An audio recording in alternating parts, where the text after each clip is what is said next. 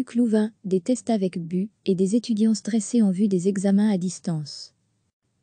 C'est une session d'examen inédite qui se prépare pour les étudiants du supérieur. Elle a d'ailleurs déjà débuté dans certaines facultés. Crise sanitaire oblige, les évaluations de fin d'année académique prennent d'autres formes. Une partie des examens se déroule à distance. Les étudiants sont interrogés par ordinateur, depuis leur domicile.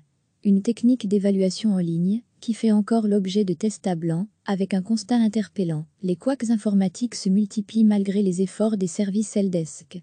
Conséquence, le stress monte chez certains étudiants malgré les propositions de solutions alternatives. Quelques-uns, très en colère, nous ont même avoué leur intention d'introduire des recours.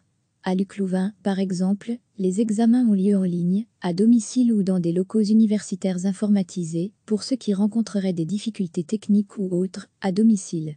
Les interrogations se font par écrit ou oralement, avec parfois un logiciel anti-triche censé jouer les bibrotés. Le système permet de surveiller l'étudiant par webcam. En médecine, plus de 800 examens ont déjà eu lieu, sans trop de problèmes, nous a expliqué l'université. Mais pour les tests à blanc, organisés en vue des évaluations de juin, les couacs informatiques semblent se multiplier. Pas plus tard que ce mardi, de nouveaux témoignages nous sont parvenus.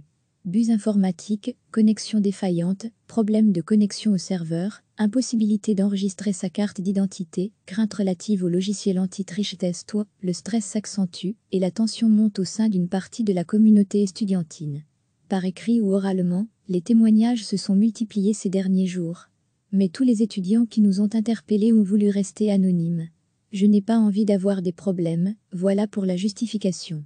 Nous reconnaissons qu'il y a eu des problèmes, mais ceci reste minoritaire, souligne l'université, et de préciser que des solutions seront systématiquement trouvées en cas de problème pour assurer le bon déroulement de la session. Reste que les témoignages sont interpellants. Mon PC ramait. Le logiciel, l'utilisation de caméras, tout cela demande des ressources sur le PC. Personnellement, je n'ai pas un ordinateur très performant. Du coup, cette méthode ne facilite pas le fonctionnement de ma machine. Invité à procéder à un test à blanc ce mardi, cet étudiant a constaté d'autres problèmes. L'appareil n'a pas reconnu ma carte d'identité. À la fin, alors que j'ai une très bonne connexion Internet, le système m'a signalé que je n'avais pas de Wi-Fi. Je ne pouvais pas envoyer ma copie. J'ai rafraîchi la page. Et là, mon écran est devenu noir, pour d'autres, c'est la crainte d'un virus et les possibles dégâts à leur matériel personnel qui suscitent des craintes.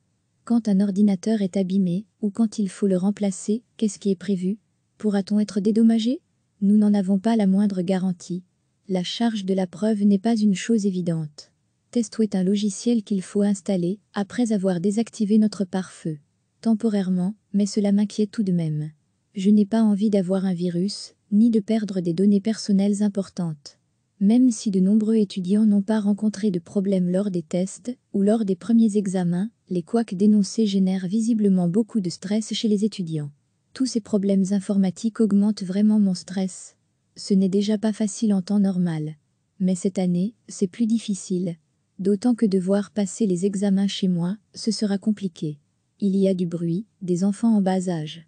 Je risque de ne pas pouvoir me concentrer. D'autres témoins évoquent une perte de temps, un temps pourtant bien précieux en période de blocus. De son côté, l'université rappelle qu'en cas de difficultés à domicile, problèmes techniques et ou informatiques, difficultés liées à l'environnement de travail, des alternatives sont possibles pour pouvoir présenter ses examens dans de bonnes conditions. C'est toujours le cas en informatique, personne n'est à l'abri d'un problème. Quand vous avez plus de 30 000 étudiants, il y a forcément quelques surprises, explique Yves Deville, conseiller du recteur de l'université numérique. Mais les ratés constatés jusqu'à présent restent peu nombreux. Je rappelle que nous avons un service helpdesk accessible 7 jours sur 7 pour aider les étudiants qui seraient confrontés à des difficultés d'ordre technique ou informatique. En cas de problème persistant, nous pouvons prêter un ordinateur. Mais nous invitons aussi l'étudiant à passer son examen en ligne, sur site, Luc Louvain attend entre 5 et 10% d'étudiantesses dans les salles informatisées réservées pour la session de fin d'année. Des salles où la distanciation sociale, physique, sera évidemment assurée.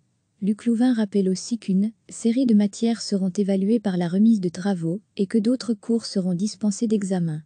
L'université espère surtout ne pas être victime de panne due à un fournisseur d'Internet ou à une surcharge de connexion, comme cela s'est vu à Lul récemment. C'est une session d'examen inédite qui se prépare pour les étudiants du supérieur. Elle a d'ailleurs déjà débuté dans certaines facultés. Crise sanitaire oblige, les évaluations de fin d'année académique prennent d'autres formes. Une partie des examens se déroule à distance. Les étudiants sont interrogés par ordinateur, depuis leur domicile. Une technique d'évaluation en ligne, qui fait encore l'objet de tests à blanc, avec un constat interpellant. Les couacs informatiques se multiplient malgré les efforts des services helpdesk. Conséquence, le stress monte chez certains étudiants malgré les propositions de solutions alternatives. Quelques-uns, très en colère, nous ont même avoué leur intention d'introduire des recours. À Luclouvain, par exemple, les examens ont lieu en ligne, à domicile ou dans des locaux universitaires informatisés, pour ceux qui rencontreraient des difficultés techniques ou autres, à domicile. Les interrogations se font par écrit ou oralement, avec parfois un logiciel anti-triche censé jouer les bibrotés. Le système permet de surveiller l'étudiant par webcam. En médecine, plus de 800 examens ont déjà eu lieu, sans trop de problèmes, nous a expliqué l'université. Mais pour les tests à blanc, organisés en vue des évaluations de juin, les couacs informatiques semblent se multiplier. Pas plus tard que ce mardi, de nouveaux témoignages nous sont parvenus bus informatiques, connexion défaillante, problème de connexion au serveur, impossibilité d'enregistrer sa carte d'identité, crainte relative au logiciel anti-triche testo, le stress s'accentue et la tension monte au sein d'une partie de la communauté estudiantine. Par écrit ou oralement, les témoignages se sont multipliés ces derniers jours. Mais tous les étudiants qui nous ont interpellés ont voulu rester anonymes. Je n'ai pas envie d'avoir des problèmes, voilà pour la justification. Nous reconnaissons qu'il y a eu des problèmes, mais ceci reste minoritaire, souligne l'université, et de préciser que des solutions seront systématiquement trouvées en cas de problème pour assurer le bon déroulement de la session. Reste que les témoignages sont interpellants. Mon PC ramait. Le logiciel, l'utilisation de caméras, tout cela demande des ressources sur le PC. Personnellement, je n'ai pas un ordinateur très performant. Du coup, cette méthode ne facilite pas le fonctionnement de ma machine. Invité à procéder à un test à blanc ce mardi, cet étudiant a constaté d'autres problèmes. L'appareil n'a pas reconnu ma carte d'identité. À la fin, alors que j'ai une très bonne connexion Internet, le système m'a signalé que je n'avais pas de Wi-Fi. Je ne pouvais pas envoyer ma copie. J'ai rafraîchi la page. Et là, mon écran est devenu noir. Pour d'autres, c'est la crainte d'un virus et les possibles dégâts à leur matériel personnel qui suscitent des craintes. Quand un ordinateur est abîmé, ou quand il faut le remplacer, qu'est-ce qui est prévu? Pourra-t-on être dédommagé? Nous n'en avons pas la moindre garantie. La charge de la preuve n'est pas une chose évidente. Testo est un logiciel qu'il faut installer, après avoir désactivé notre pare-feu.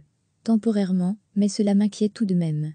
Je n'ai pas envie d'avoir un virus, ni de perdre des données personnelles importantes.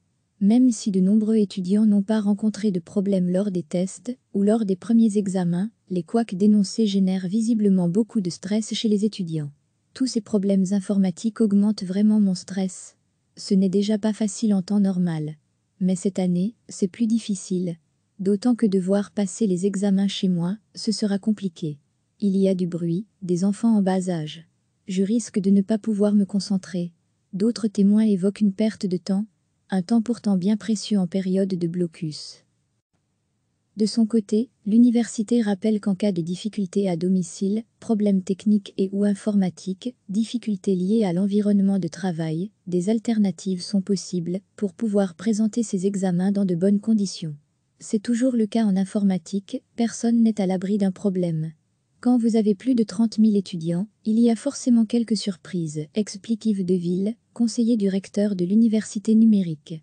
Mais les ratés constatés jusqu'à présent restent peu nombreux. Je rappelle que nous avons un service Helpdesk accessible 7 jours sur 7 pour aider les étudiants qui seraient confrontés à des difficultés d'ordre technique ou informatique. En cas de problème persistant, nous pouvons prêter un ordinateur. Mais nous invitons aussi l'étudiant à passer son examen en ligne, sur site. Luc Louvain attend entre 5 et 10% d'étudiantesses dans les salles informatisées réservées pour la session de fin d'année. Des salles où la distanciation sociale, physique, sera évidemment assurée. Luc Louvain rappelle aussi qu'une série de matières seront évaluées par la remise de travaux et que d'autres cours seront dispensés d'examen. L'université espère surtout ne pas être victime de panne due à un fournisseur d'Internet ou à une surcharge de connexion, comme cela s'est vu à Lille récemment. Cliquez sur s'abonner pour recevoir les dernières nouvelles.